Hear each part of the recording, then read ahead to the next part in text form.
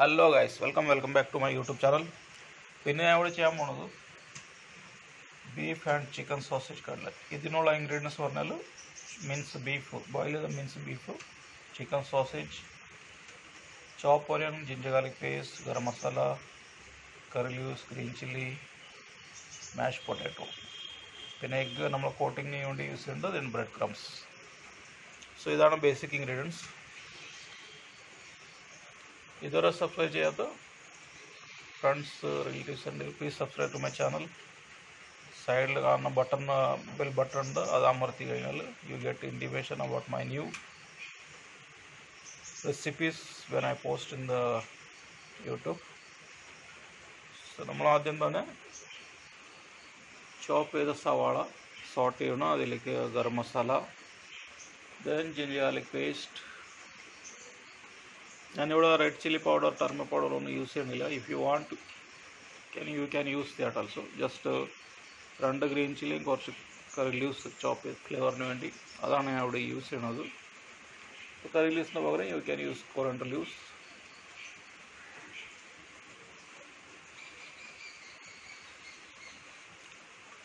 beef നേരത്തെ നമ്മൾ ഒരു കറിക്ക് വേണ്ടി ഉണ്ടാക്കിയതിന്റെ കുറച്ച് മാറ്റിയത് മിക്സിയിലടിച്ച് പേസ്റ്റാക്കി പേസ്റ്റല്ല മിൻസാക്കി വെച്ചിട്ടുണ്ട് പിന്നെ ചിക്കൻ സോസേജ് ചിക്കൻ സോസേജ് ചെറുതായിട്ട് ഇതുപോലെ കട്ട് ചെയ്തിട്ടുണ്ട്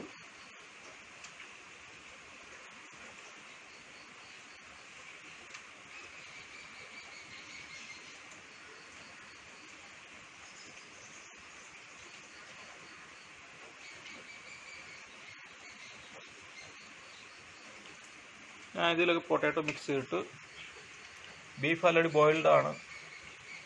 പിന്നെ അത് വേറെ പിന്നെയും ചൂടാക്കേണ്ട ആവശ്യമില്ല. അപ്പോൾ ഇതിലേക്ക് നമ്മൾ മാഷ് പൊട്ടറ്റോ ആഡ് ചെയ്തു നന്നായിട്ടൊന്ന് മിക്സ് ചെയ്ത് കൊടുക്കുക. ബീഫ് ബോയിൽ ചെയ്യുമ്പോൾ അത്യാവശ്യം ജിഞ്ചർ ഗാർലിക് എല്ലാം പിന്നെ മസാല ഇട്ട് ബോയിൽ ചെയ്തതാണ് അപ്പോൾ ഫ്ലേവർ ആൾറെഡി അതിലുണ്ട്. അപ്പോൾ വേറെ എക്സ്ട്രാ ഫ്ലേവറിന്റെ ആവശ്യമില്ല. നമ്മൾ ഇതിനു വേണ്ടി കുറച്ച് ഗരം മസാല മാത്രമേ ആഡ് ചെയ്തിട്ടുള്ളൂ.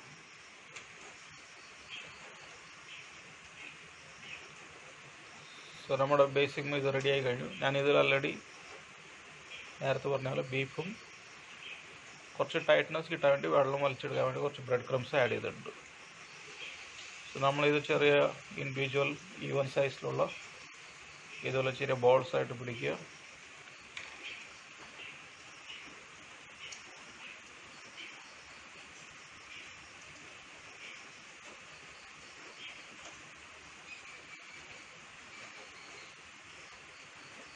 സോ നമ്മുടെ ഫസ്റ്റ് സ്റ്റെപ്പ് റെഡി ആയി കഴിഞ്ഞു. ദെൻ നേരത്തെ പറഞ്ഞ പോലെ എഗ്ഗിൽ ഡിപ്പ് ചെയ്ത്. ബ്രെഡ് ക്രംസ് പിടിപ്പിക്കുക ബീഫ് ആൻഡ് ചിക്കൻ സോസേജ് എന്റേതായ ഒരു ചെറിയ വേരിയേഷൻ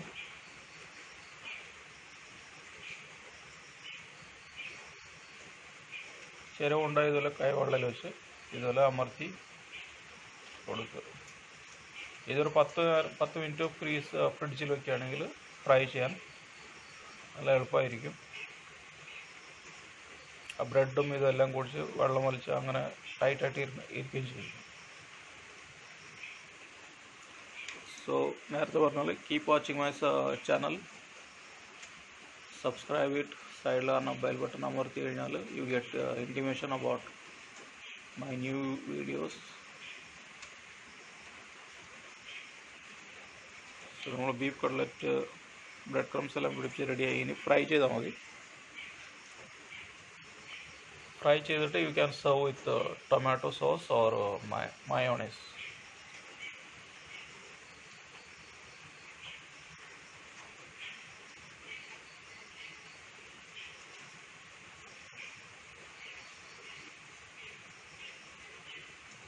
first step നമ്മൾ ഫ്രൈ ചെയ്ത് മാറ്റണം.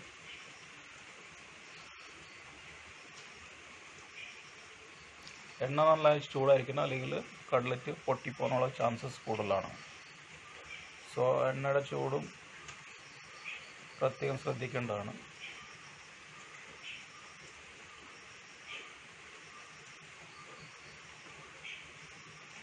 So keep watching my channel subscribe it. നമ്മുടെ beef cutlet beef and chicken sausage cutlet ready ആയി കഴിഞ്ഞു. Thank you thank you for watching bye